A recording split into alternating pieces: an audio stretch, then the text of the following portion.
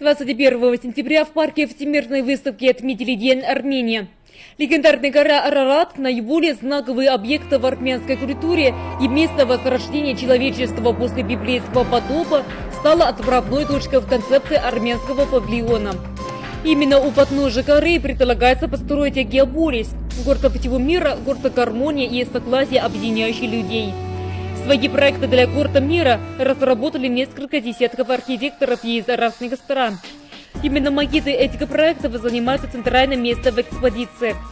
Фоном же для суперсовременных разработок стала богатая полуторатысячелетняя история армянской нации, воплощенная в архитектурных памятниках и до нашего времени.